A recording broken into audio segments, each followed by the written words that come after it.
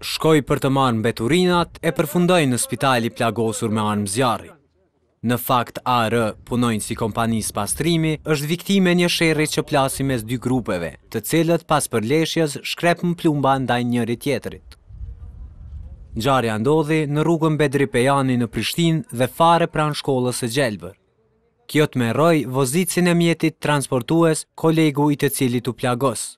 Zakonisht çdo të hënë vim e marrim mbeturinat në shkollë edhe rreth shkollës çka është kjo rruga edhe s'kam ditë gjo veç se unë dora të punëtoj me qysh që qysh po punojnë punëtorët veç kur e kom pa që krisën alltia pa pa pa i kom ka dy punëtorë i kom shef këtë tretin ma kanë plagu.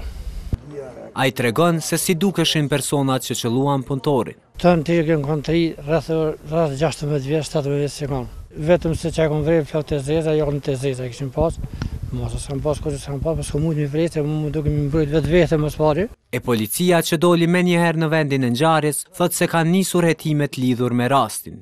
Gjitha njësitë relevante i kanë përgjegjë vendit të ngjarjes edhe kemi një pistë të mirë për identifikimin e Kryesve të mundshëm.